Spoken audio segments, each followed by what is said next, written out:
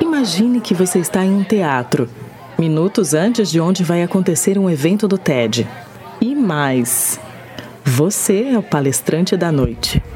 Você já consegue ouvir e sentir toda a energia do público quando, de repente, seu nome é chamado ao palco. Você se levanta e lentamente começa a caminhar em direção ao palco. Sua respiração aumenta. Seu coração. Vamos descobrir como você pode se preparar para um momento desse? Fica ligado que o Resumo Cast está no ar. Os melhores livros de negócios investigados a fundo por quem entende de empreendedorismo. Fique ligado, pois está começando mais um episódio do Resumo Cast com Gustavo Carriconde e Renata Libérica. Falar em público e encantar as pessoas é uma habilidade, não é um dom. Isso significa que qualquer um pode aprender. As ideias desse livro, que já tem quase um século e já passou por algumas revisões, continuam atualizadas hoje em dia. E elas servem como fonte de referência para qualquer empreendedor que queira aprender ou aperfeiçoar a sua oratória. E além do livro do Dale Carnegie, hoje no Resumo Cast teremos um profissional com quase 30 anos de experiência em comunicação e que já treinou milhares de pessoas em técnicas de oratória. Estou falando de Franco Júnior. Falar em público, Gustavo, é algo extremamente técnico. Quando eu conheço a técnica, sei como aplicar, eu consigo controlar o meu medo de falar em público. Por que, que é o medo de falar em público? Por que, que nós, seres humanos, temos medo de falar em público? De maneira resumida, nós temos medo porque não sabemos o que fazer, quando fazer e como fazer numa fala, numa comunicação. O que eu devo fazer, por exemplo, com as minhas mãos no momento em que eu estou apresentando?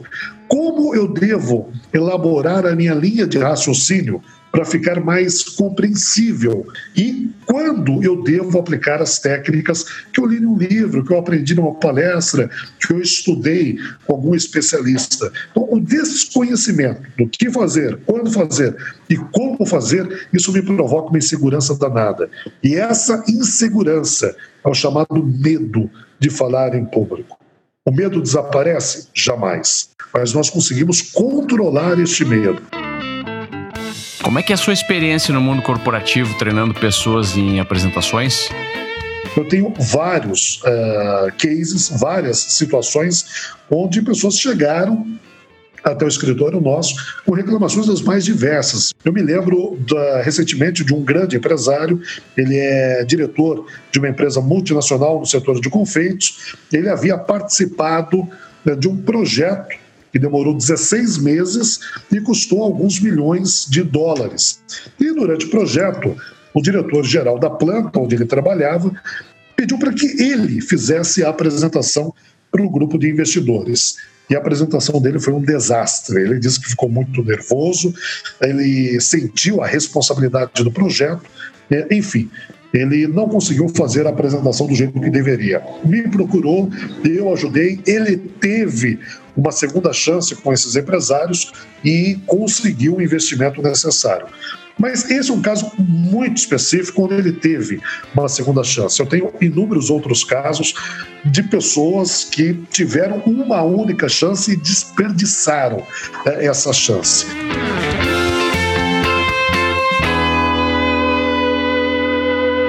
Espere muito mais do que dicas rasas sobre oratória. Nesse livro, o renomado conselheiro, professor e autor mundialmente conhecido Dale Carnegie nos mostra que a comunicação excelente não pode ser atingida apenas através de técnicas rígidas de oratória, mas pela opção de um estilo de vida que se conecta com as pessoas. Além disso, como falar em público e encantar pessoas também traz dicas práticas de como você pode se preparar para se tornar um orador memorável. Primeiro, ele sugere que o orador tenha em mente o destino final da sua narração, um objetivo de alto impacto ao ouvinte que cause uma surpreendente transformação e permita que cada um identifique uma solução à sua necessidade pessoal.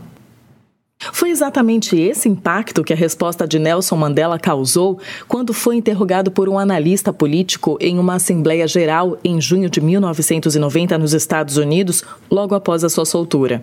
Após ser criticado por aceitar o apoio de ditadores para acabar com a ditadura em seu próprio país, Nelson respondeu dizendo apenas: O maior erro que alguns analistas políticos cometem é pensar que seus inimigos deveriam ser nossos inimigos.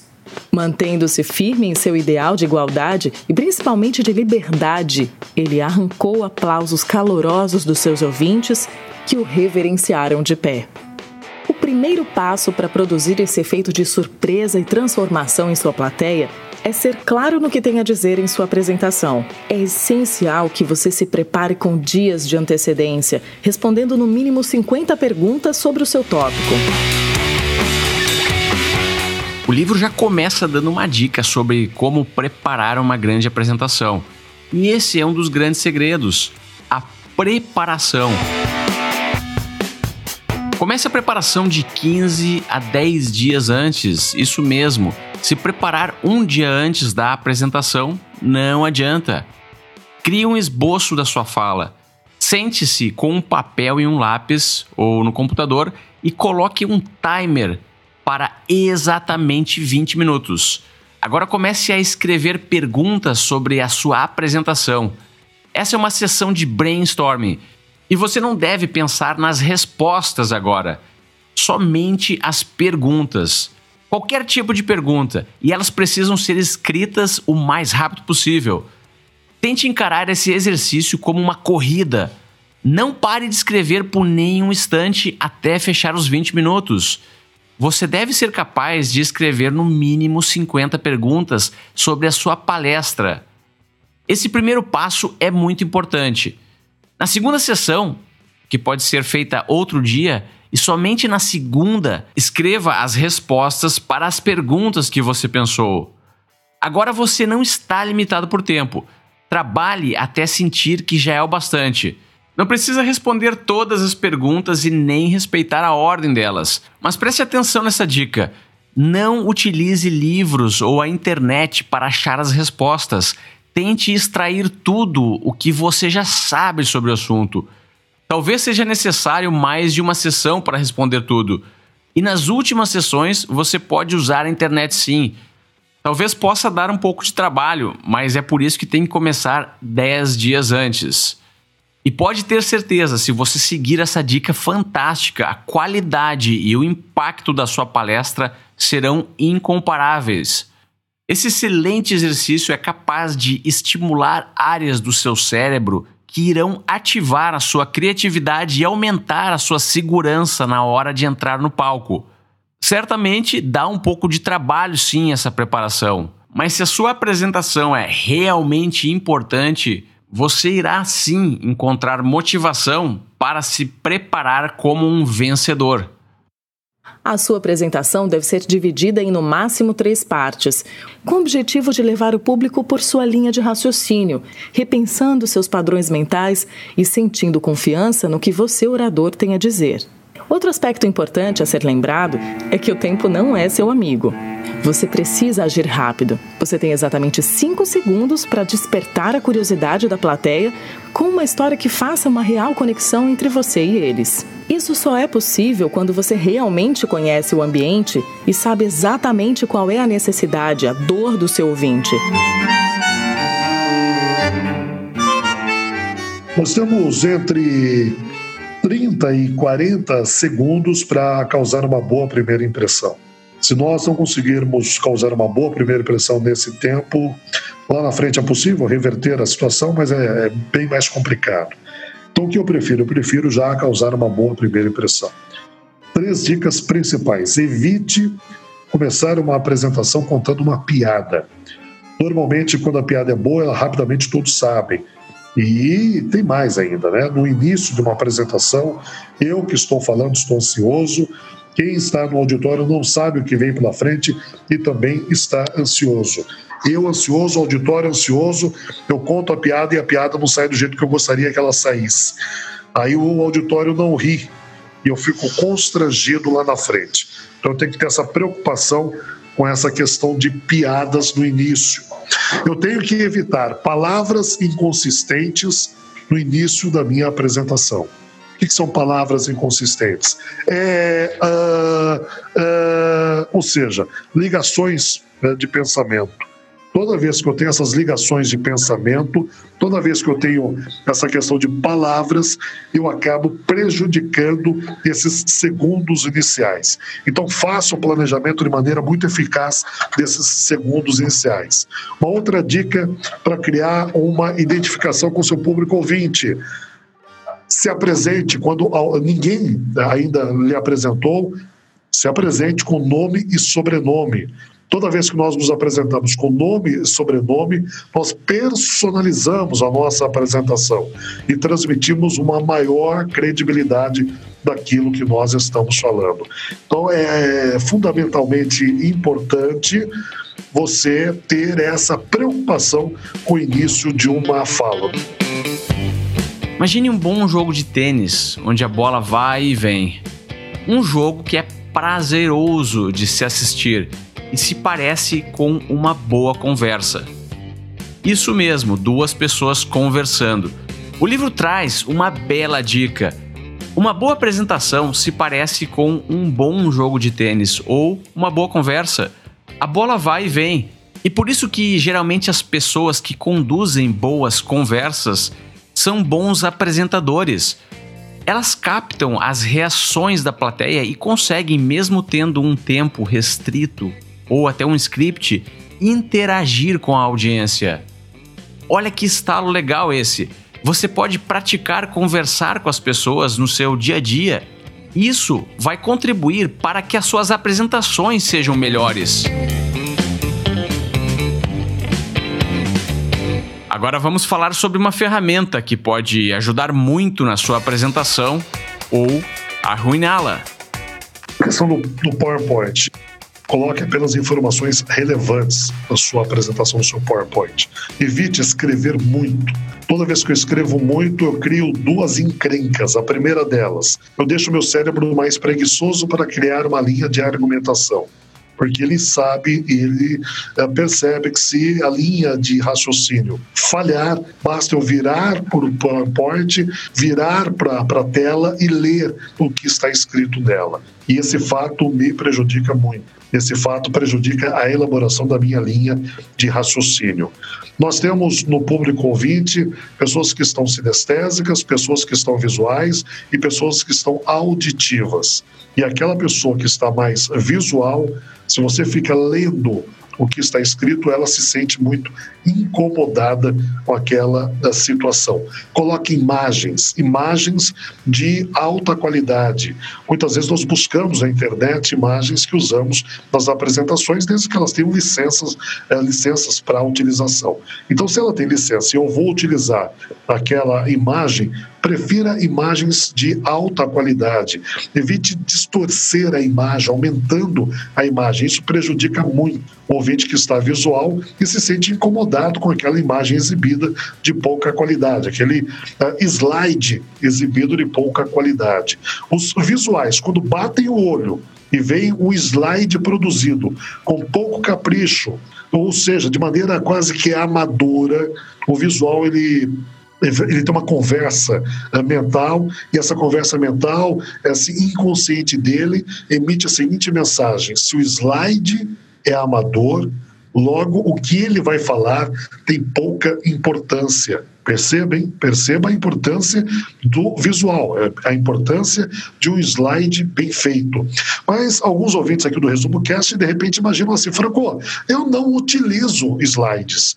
Como que eu faço para criar essa linha, essa conexão, essa linha comunicativa poderosa é, com os ouvintes que estão mais visuais? Vou ensinar aqui uma palavra fantástica, é a palavra imagine. O ouvinte que está mais visual, ele adora a palavra imagine. O visual adora. Franco, mas por que você está falando de visual, auditivo e sinestésico? Porque algumas pessoas elas vão até uma apresentação porque elas querem ver o que aquelas informações vão transformar a vida delas. Outras vão até um local porque elas querem ouvir o que aquelas informações vão mexer com a vida dela. E alguns outros ouvintes vão até o local porque eles querem sentir se aquilo é para eles.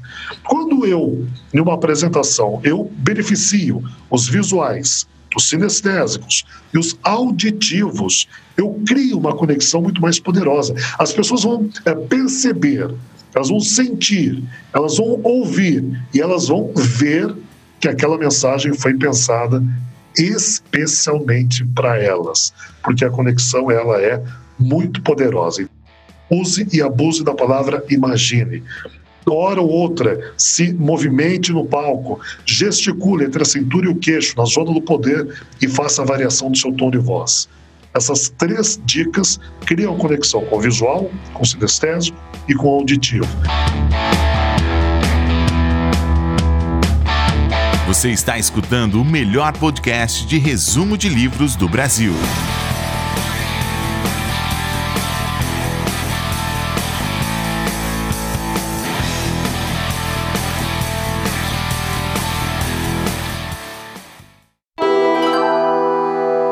O autor apresenta no livro um estudo de caso de um discurso que foi de grande importância para a humanidade. Há 70 anos atrás, em Paris, numa reunião memorável para os direitos da liberdade humana, Eleanor Roosevelt escolheu discutir em uma comissão com mais de 18 grandes líderes do mundo todo o que deveria ser feito para que todos os países da Terra pudessem se assegurar de que as atrocidades que aconteceram na Segunda Guerra Mundial, como Holocausto e bombas atômicas, nunca mais voltassem a se repetir. Desse discurso se originou um documento que é o mais traduzido em todo o mundo, com todos os seus 30 artigos de direitos humanos. Agora veja só o contexto. O presidente dos Estados Unidos, por motivo de saúde, não pôde comparecer a esse importante discurso. E ela, Eleanor, foi obrigada a substituir o seu marido, que além de presidente americano, era um grande orador, o Franklin Roosevelt. Conta que nesse momento precisou encarar o seu maior medo de frente e teve que se agarrar naquilo que seu marido tanto falava. A única coisa de que devemos ter medo é do próprio medo. E então falar com todo o entusiasmo que podia para que pudesse inspirar, ou como conta em seus livros, fazer aquilo que acha que não consegue fazer. De acordo com Dale, na maior parte das vezes o medo humano não está em se apresentar, e sim naqueles poucos segundos antes de você ser convidado a subir ao palco. Existem inúmeros recursos para se manter focado e centrado nesse momento. Alguns dos mais utilizados é meditar, relaxar e aquecer todo o seu corpo para transmitir a sua mensagem. Se lembrar de que houve uma preparação, uma pesquisa e de que aquelas horas são mais do que o suficientes nesse momento para que você possa extrair tudo aquilo que tem de melhor é essencial para se manter em equilíbrio. Segundo Carnegie, o orador precisa encarar esse momento como uma oportunidade única em sua vida para poder demonstrar toda a sua paixão sobre o tema. Isso de uma maneira bem humorada poder permitir que a transformação dos seus ouvintes aconteça pela simpatia que você tem por eles ao apresentar a sua ideia, seu produto, seu serviço, causando uma excelente experiência para o seu ouvinte ou seu cliente. Entenda, as pessoas querem e precisam ouvir as histórias que você tem para contar. Elas querem rir, se divertir, viver momentos marcantes a partir da gratidão e de toda a alegria e energia intensas que surgem quando você está com o microfone nas mãos. Portanto, você deve apenas reposicionar o seu medo para a real dimensão que ele tem. Eu tenho convicção de que nesse instante, quando você está colocando o primeiro pé né, no palco, a adrenalina ela tomou conta do seu corpo. Isso é o que acontece com nós, seres humanos, em todo momento em que nós estamos numa situação de estresse. Então, antes de colocar o pé no palco, segundos antes, minutos antes, você vai fazer o seguinte: imagina você em um local reservado e você vai colocar uma mão contra a outra na altura do peito. Imagina que você vai aplaudir alguém, então você fecha, né, faz aquele movimento do aplauso, fecha as mãos é, junto ao corpo, junto ao peito e aperta uma mão contra outra. Essa força que você está empregando nas mãos faz com que a adrenalina que está percorrendo o teu corpo venha para as mãos. Depois que eu concentrei essa adrenalina em minhas mãos, eu abro e fecho as minhas duas mãos para dissipar esse excesso de adrenalina. A adrenalina, o excesso de adrenalina antes de uma apresentação é catastrófico. Vou explicar o porquê. Toda vez que nós estamos ali sentindo que algo vai ser perigoso, sentindo que algo me incomoda, sentindo que algo me tira da zona de conforto, o cérebro manda um recado para a espinha. A espinha manda um estímulo nervoso para as glândulas suprarrenais. Elas produzem adrenalina e jogam na corrente sanguínea. Só que essa adrenalina na corrente sanguínea, ela tem duas, dois objetivos. Primeiro, te defender. E o segundo, fazer com que a sua reação àquele momento de perigo seja mais eficaz. E nós temos duas reações diante do perigo. Ou nós fugimos do perigo, ou nós enfrentamos o perigo. Se naquele momento, naquele instante, a sua tendência é enfrentar o perigo, o cérebro despeja adrenalina nos membros superiores, nas mãos e nos braços para que eu ganhe agilidade nas mãos e braços e possa enfrentar aquele perigo. Ah, não, Franco, sabe o que é? Eu quero, eu quero fugir daquele, daquela situação. Eu quero fugir daquele perigo. Sabe o que o cérebro faz? Despeja adrenalina nos membros inferiores, nas pernas e nos pés, para que a pressão sanguínea se altere e eu saia correndo daquele problema, daquele perigo. Então, quando eu fico com as mãos trêmulas de uma fala em público, quando eu fico com as pernas bambas de uma fala em público, são resultados do excesso de adrenalina. E mais do que isso, eu, eu peço para que os nossos ouvintes coloquem a mão direita na testa, no lado direito da testa. É mais ou menos nesta região onde você está, com a sua mão direita, é que nós temos uma parte do cérebro que é responsável pela elaboração da nossa linha de raciocínio. Então, se essa adrenalina que está percorrendo o corpo para nessa região da nossa cabeça, do nosso cérebro, ela vai provocar a interrupção de milésimos de segundo na linha de raciocínio. E essa interrupção que nós chamamos em comunicação de branco. Ah, eu esqueci do que eu iria falar. Eu estudei tanto, eu me preparei tanto e esqueci no momento da apresentação. É adrenalina que está percorrendo todo o corpo e parou nesta região da cabeça, nessa região do cérebro. Então, para resumir, se você apertar uma mão contra a outra na altura do peito, com força, entre um aperto e outro, respirar fundo, oxigenar o cérebro, e depois abrir e fechar as mãos, dissipando essa adrenalina, esse exercício vai evitar pernas bambas, mãos trêmulas, boca seca, coração disparado e, principalmente, ele evita o esquecimento, ele evita o branco no momento de uma fala em público. Esse é o exercício, Gustavo, que eu utilizo nas minhas apresentações até hoje. Ah, Franco, eu entrei aqui nas suas redes sociais. Eu entrei aqui no seu Facebook, que é Franco Júnior Palestrante. Eu entrei aqui, eu vi fotos, Franco, de você falando para cinco, para quatro mil pessoas. Uh, e mesmo assim você fica nervoso toda vez. Toda vez. Toda vez que eu tenho que fazer um bate-papo, toda vez que eu tenho que fazer uma apresentação, eu fico nervoso. Uh, o que eu aprendi ao longo dos últimos uh, 17 anos que eu trabalho com comunicação é como controlar essas reações.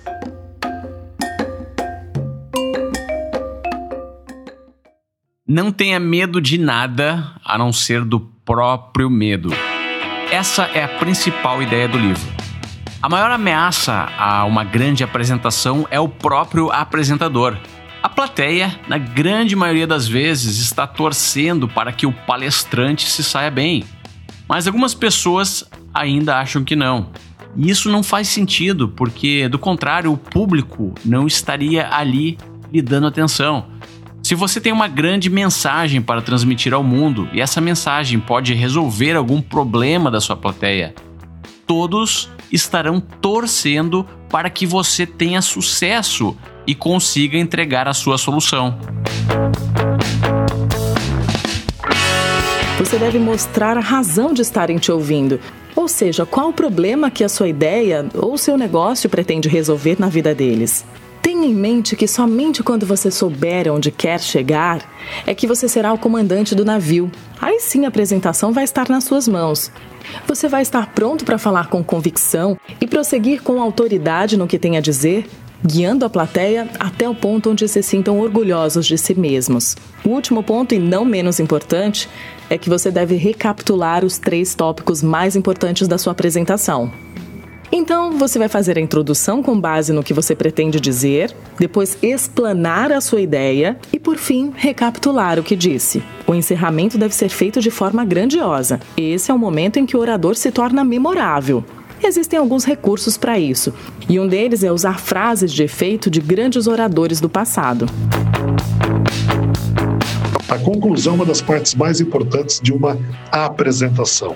Se você deixa o planejamento na conclusão, para um instante que você está em cima do palco, à frente de uma sala, você corre o sério risco de chegar no final e fazer conclusões vazias. Vou dar um exemplo aqui de uma conclusão vazia. Você vira para as pessoas e diz assim: bem, era isso que eu tinha para apresentar uma conclusão vazia. Ela não deixa um gostinho de quero mais. Ou então, acho que disse tudo o que eu poderia transmitir. Uma outra conclusão vazia, que não deixa um gostinho de quero mais. Então, vou passar aqui três sugestões para que você faça uma boa conclusão. Pensada antes da fala, planejada antes da fala. Jamais deixe a conclusão para ser pensada quando você já estiver falando. Isso é um erro muito grande de quem fala em público. Primeira dica: você pode fazer uma conclusão citando uma frase que tem a ver, que tem a relação com aquilo que você disse. Você chega no final e diz assim: antes de concluir, eu quero compartilhar com vocês a fala do fulano que resume o que nós conversamos hoje aqui e o que eu penso sobre o assunto. Aí você vai lá e cita a frase eh, da pessoa que você pensou, eh, dando dessa liderança que você imaginou, dando uma conclusão bem bacana. Você pode também concluir fazendo uma reflexão, contando uma história uma história, exatamente. Ou então uma outra conclusão, que é uma conclusão muito simples, mas extremamente eficaz, que é concluir agradecendo a presença das pessoas. É mais ou menos assim. E antes de concluir, eu quero mais uma vez agradecer a presença de vocês que vieram hoje até aqui, nos acompanharam no Resumo Cast, esse nosso bate-papo minha gratidão, meu muito obrigado a você e um excelente dia e até a próxima oportunidade. Pronto. Fiz uma conclusão simples, prática, mas é, extremamente eficaz, extremamente eficaz. E, por fim, a dica de ouro. Chegou no momento da conclusão, do fechamento, anuncie, diga para o seu ouvinte que você está concluindo. Por que dessa recomendação? Durante uma apresentação, é normal as pessoas ficarem dispersas em alguns momentos. Isso é normal, isso acontece. Quando eu digo assim, estou concluindo, estou chegando ao fim, eu resgato, eu retomo a atenção da, da, das pessoas que estavam dispersas. Depois que eu retomei a atenção dizendo que eu estou concluindo, eu devo fazer uma rápida recapitulação. Eu retomo os principais pontos que eu abordei em duas, três linhas, algo bem objetivo, bem rápido. E por que dessa recapitulação? Vamos pela sequência. Eu retomei a atenção das pessoas, fiz uma recapitulação, ou seja, dei uma segunda chance às pessoas que estavam dispersas de entenderem o que foi falado naquela fala e depois sim eu me disperso.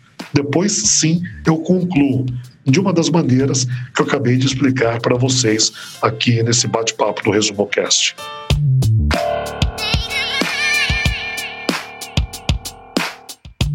Mas mesmo depois da conclusão, a sua apresentação pode ter mais uma parte, que é quando o seu público irá lhe fazer perguntas. As perguntas movem o mundo. Portanto, esse é o momento em que o orador se permite ouvir. Agora é a hora que o palestrante deve ser extremamente empático para responder da melhor forma que puder a qualquer questão levantada. Claro, você sempre deve estar no controle. Se assegurar que, em cada momento, tudo caminhe de acordo com o estado planejado. Aquele que leva o seu ouvinte ou cliente a agir de forma diferente, melhor na manhã seguinte. Então comece garantindo que haverá um momento para perguntas ao final. Com isso, normalmente os ouvintes entendem que devem esperar. Feito isso, quando chegar o momento das perguntas, você deve esclarecer quanto tempo será disponibilizado para esse momento. Agora você pode ouvir, refletir, esperar e responder as dúvidas da maneira mais clara e objetiva possível. É importante que você sempre direcione os seus ouvintes. Se ficarem perdidos no momento da pergunta, você deve interferir para que esse ouvinte possa ser mais claro na questão. Óbvio, você não deve, em hipótese nenhuma, interromper o ouvinte quando ele estiver no meio de uma questão. Mas se ele se perder, cabe somente ao orador trazer para si o poder novamente. Enfim, proporcionar esse momento que, embora pode parecer aterrorizador para quem não tem costume, também pode ser de máximo proveito para sua audiência sair da apresentação com o máximo de valor e uma grande oportunidade para o palestrante de se ver capaz de sanar todas as dúvidas levantadas, mesmo que alguma resposta só saia daqui a alguns dias. Além de todo o aprendizado que esse momento leva, também te conectará ainda mais com os teus ouvintes seja extremamente transparente no momento das respostas. É, evite é, criar respostas. Hoje, com a velocidade da internet e a disponibilidade dos smartphones, toda vez que você diz algo que não é totalmente verdadeiro, totalmente é, genuíno, é muito fácil você ser é, desmentido e aí acaba com a sua credibilidade, enfim, acaba com a tua reputação de anos. Então, seja muito verdadeiro. Primeira dica: não sabe a resposta, diga que não sabe.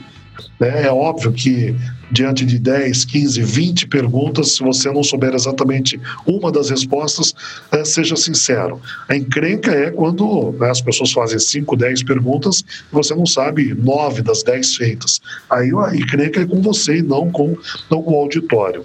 E uh, sempre contextualizando, contando histórias e fazendo com que a sua resposta, de alguma forma, faça sentido para as pessoas que estão ali.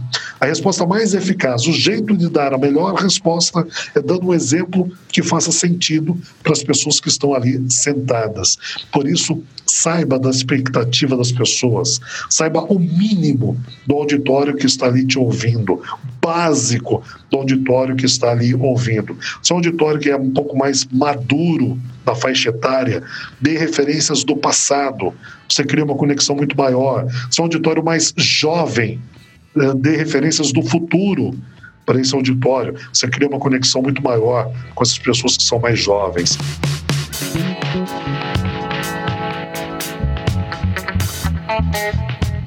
Se você acha que nós estamos falando apenas de apresentações públicas, palestras, está enganado.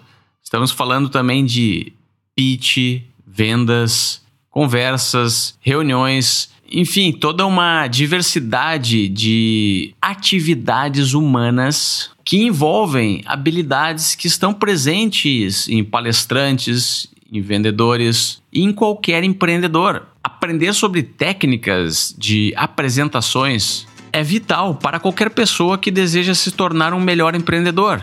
Ninguém precisa se tornar um palestrante profissional, mas se você tem uma grande mensagem para transmitir para os outros, um grande negócio, um empreendimento, um sonho, pode estar certo que um dia você terá que falar para um público grande de pessoas. E aqui vão mais algumas dicas do livro. A grande meta é fazer os ouvintes ficarem atentos e realmente satisfeitos e animados com a exposição e com a apresentação do seu negócio. Estudos apontam que um produto novo deve ser apresentado de nove diferentes formas, até que se torne um produto conhecido pelo público. O segredo é que, quando você se conecta com seu ouvinte, sabe exatamente os pontos em que pode combinar suas histórias com o momento de vida deles. Para isso, existem quatro grandes estratégias. Combinação de pensamentos. Você deve usar todas as suas experiências e recursos que puder para levar seu ouvinte a se levantar e agir. Adaptação de pensamento. É o momento em que você imprime reflexão sobre o seu tema E então você é capaz de criar pensamentos novos a fim de exemplificar melhor o seu ponto. Substituição de pensamentos. Essa era uma estratégia usada por Alexandre o Grande quando contava antigas histórias de guerra sobre os ancestrais da nação. Com isso, ele conseguia fazer com que cada soldado pudesse manter o foco e determinação em seu pelotão, por saber que eles eram a continuação de um legado marcante dos seus avós e pais que lutaram com determinação para conquistar. Pensar grande. Esse é o momento em que você deve enfatizar como as coisas devem ser imensas. Palavras como milhão, bilhão devem permear o seu vocabulário, enriquecendo a palestra. Para enfatizar esse dado, tente falar essas palavras de maneira espaçada. 25 milhões de dólares. Segundo o autor, essa é a estratégia de Cole Sagan, que utilizava veementemente essa técnica para proporcionar maior credibilidade diante do público. Outro ponto importante é que você deve cuidar para que consiga proporcionar os reais sentimentos que desejem seus ouvintes.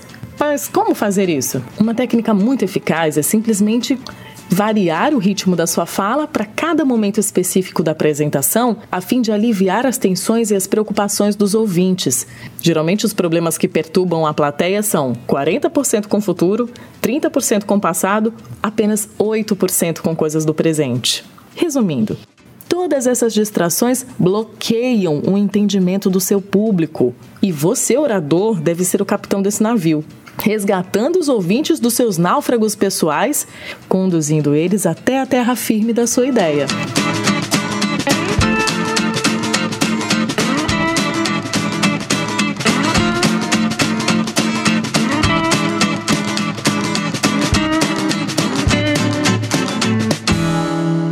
Tem um canal né, do YouTube que eu recomendo, que é o canal de comunicação, o meu canal, Franco Júnior Palestrante. Se você segue, se você já me segue no YouTube, você já deve ter a oportunidade, ou já deve ter tido a oportunidade de assistir um pouco sobre a minha vida, porque eu comecei a trabalhar com comunicação. Eu fui uma criança que aos 10 anos de idade, dentro de uma sala de aula, sofri um grande trauma da minha comunicação. E desde esse dia, eu me tornei uma pessoa extremamente tímida até que aos 20 anos eu fui cursar é, jornalismo e me especializei em comunicação oral, técnicas de uma boa fala em público. Então, estou contando rapidamente essa história para que os amigos do Resumo Cast entendam que eu saí de uma criança extremamente tímida para hoje um palestrante, uma, uma, um especialista em comunicação oral. Como que eu fiz esse percurso? Utilizando essas técnicas e inúmeras outras que eu compartilhei nesse nosso bate-papo. O fato é, Gustavo, que a minha vida ela foi transformada pela comunicação. Eu tenho certeza que muitas pessoas que nesse momento estão nos ouvindo conhecem outras pessoas que já deixaram inúmeras oportunidades na vida passar por medo de falar em público, por receio de fazer uma fala. E a minha dica é: coloque o mais rápido possível essas técnicas em prática. Se hoje eu pudesse passar uma única dica transforme a sua comunicação. Treine muito as apresentações. Tenha resultados extremamente significativos com as suas falas em público.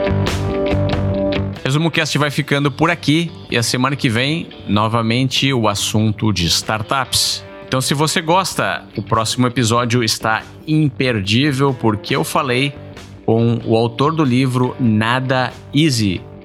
Ele foi o fundador do Easy Taxi. Oi, gente, tudo bem? Bom, Thales Gomes falando aqui. Primeiro, muito obrigado, Resumo Crash, pela, pelo convite. Bom, sou um grande fã do trabalho de vocês. Eu acho que vocês, inclusive, ajudam muito a nós, autores, a, a, não só passar um pouco mais do que, daquilo que a gente queria quando a gente escreveu, mas também, falando na figura de empreendedor, a ter contato com, com, com, diretamente com o autor, com o empreendedor. Então é como se eu estivesse tendo uma conversa é, ali com pessoas que de repente não seriam tão fáceis de acessar.